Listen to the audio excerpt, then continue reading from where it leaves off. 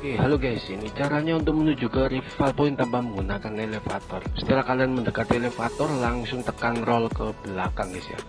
Nanti otomatis kalian akan ditransfer ke area-area rival point. Jadi kalian lebih dulu dari teman-teman kalian guys.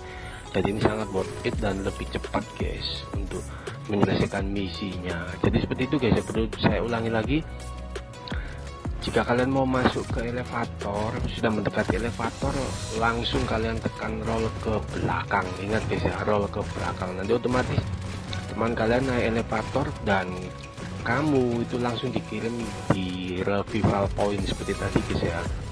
Jadi itu sangat cepat dan sangat membantu buat kalian guys. Jadi sangat berguna dan lumayan guys. Ini bug terbaru paling terbaru di Santopani Island Rift guys ya. Jadi seperti itu video saya guys. Ya jangan lupa tekan like comment dan subscribe buat kalian yang baru menonton.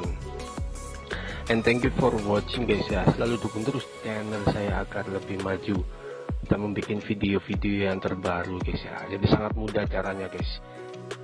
Jadi cara tinggal mendekat di elevator langsung roll ke belakang guys. Kalian akan ditransfer secara ajaib.